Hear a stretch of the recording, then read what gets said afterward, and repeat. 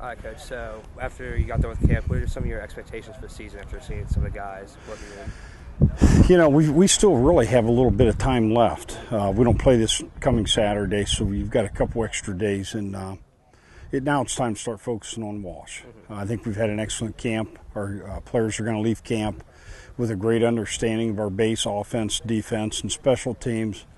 Uh, so now I think it's time to start concentrating on our first game.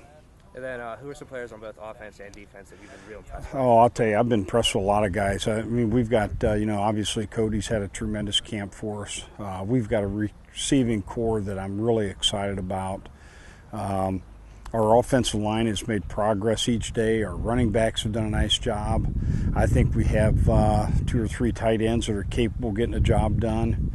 And then you go on the defensive side of the football. I think our defensive front has played extremely well. I think our our linebacking corps has taken positive strides um, to play at the level where we need them to play at. And our secondary is very talented. We're nicked up a little bit there, but I think by September 5th we'll be healthy. And then uh, with the PSAC ranking came out, you guys were at six. Would you guys use that as motivation? Or? No, you know, I, I just, um, you know, you, you could sit there and say that's what people think of you, but, you know, I, I don't know a whole lot about the other programs, to be quite honest with you, so I don't know how valid they are.